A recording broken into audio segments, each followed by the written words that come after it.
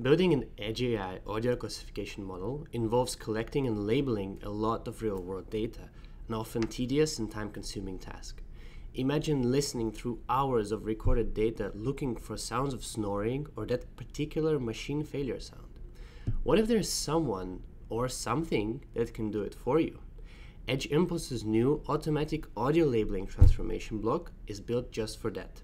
It integrates with Hugging Face to automatically label your audio dataset in minutes, saving you significant time and effort. In this video, I'll show you how to harness this feature to quickly and efficiently label your audio dataset. Okay, so to demonstrate um, what this feature might be helpful for, I came up with a model use case. Say you have a factory, and in this factory there is a machine or machines that make a particular sound when they are in a certain state. Whether this state is faulty or is just some particular state that makes this sound, we want to be able to identify this by audio.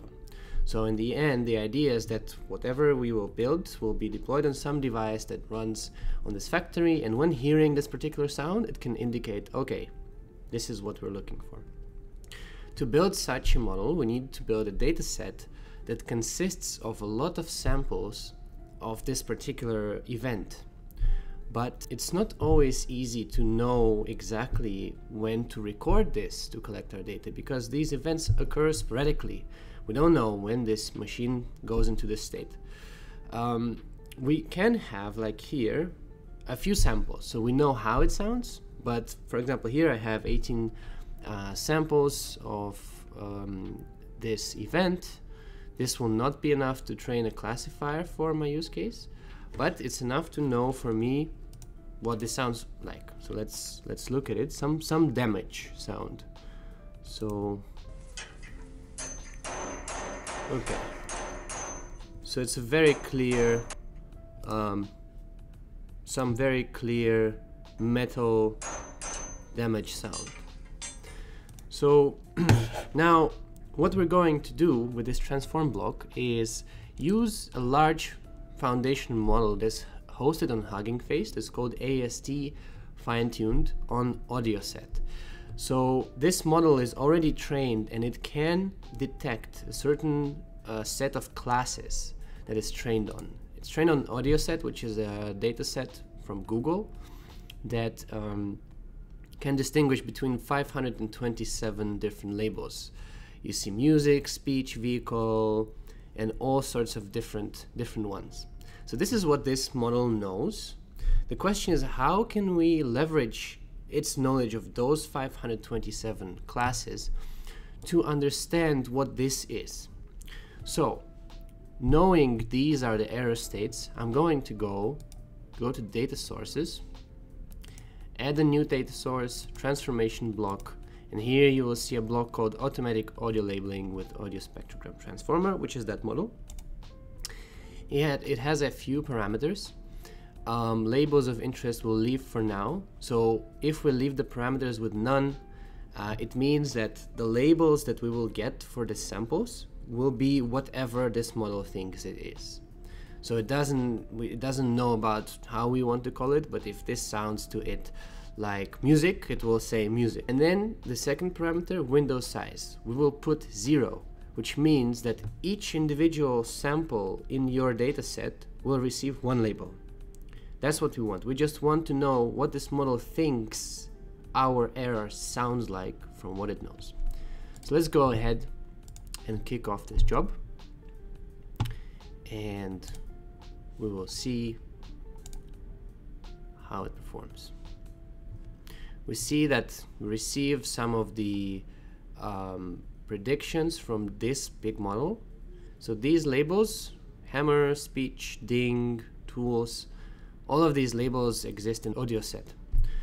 So we just get all of these labels, and if we look back at our data set right now, we'll see that each of the samples now has a label.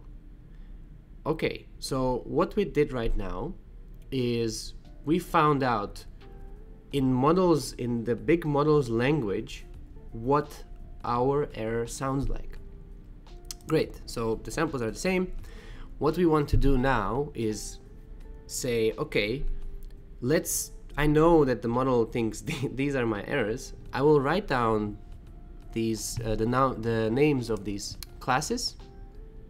And I have already done this before so there's some different ones that we will see. Hammer so we'll take those labels and now we say okay so now we know what our error sounds like. As a second part I have prepared a larger data set of 24 minutes and it consists of samples that are longer. It's there 20 to 30 seconds. So this is what you would have access to if you wanted to build this. You would just collect larger samples you don't know what is in these samples. You know that in some of them this error has occurred and your goal is to listen to all of them find when it occurs and say oh okay this is my error and label it with the error. But before you do that you have no idea. Now I have to listen through 24 minutes of audio hoping to hear the sound.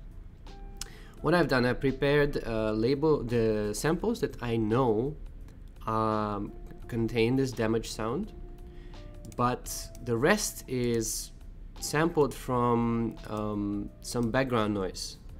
So it's just some factory noises. I don't know if this error also occurred there.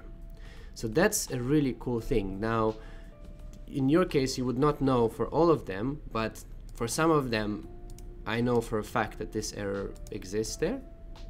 But for some of them so let's see what I'm going to do now is go in this project again to data sources add another data source select the same transformation block but now I'm going to specify the labels of interest it says here list of labels from audio set that will be used to label the sample. When model returns any other label, the label and edge impulse will be set to noise. So that's exactly what we want. We want to highlight only the times when what we heard before occurs, and the rest we're not interested in.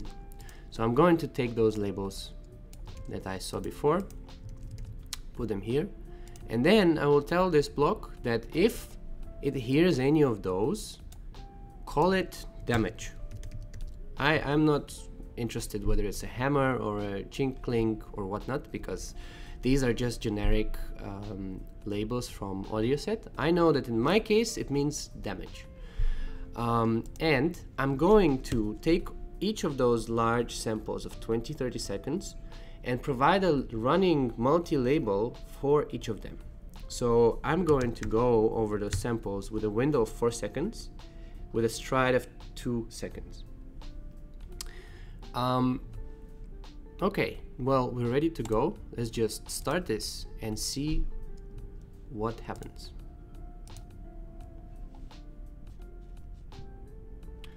Okay, so it started classifying for each sample now. It gets multiple labels and then it sees if in either of those labels, oh, let me go back to the dataset.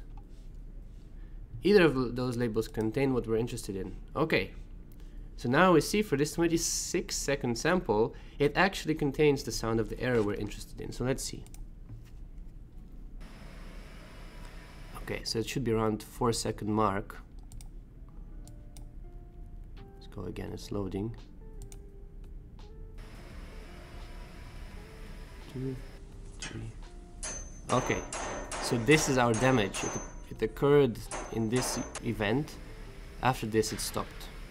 But what is interesting is that the samples that I put and I didn't attach any noise that I did myself, it actually detected some damage as well. So let's hear it out. I didn't know about it. So it also can happen that in your case, you discovered that at some moments where you didn't know something happened, it actually did.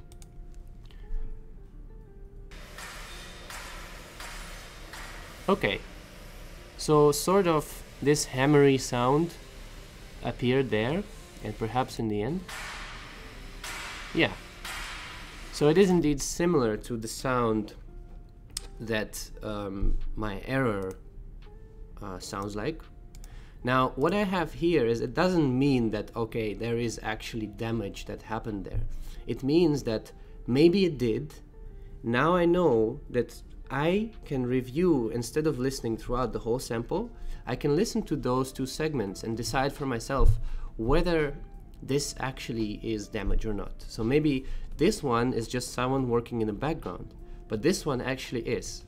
So after I receive the labels that I'm uh, proposed from the um, big model, I can go, where was that sample?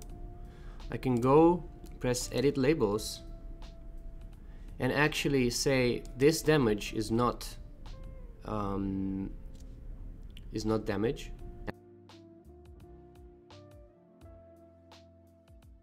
it's going to be noise that's it.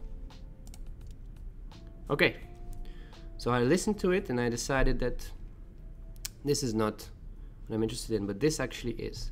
And we will see that all the samples in our dataset will receive this structured label and show us where something occurred. Now, what we have now is labeled data that we can use for training the model that will be classifying this damage noise without having to listen through, in this case, 24 minutes, but um, in actual scenarios, it can be hours and hours of data uh, of different sample sizes.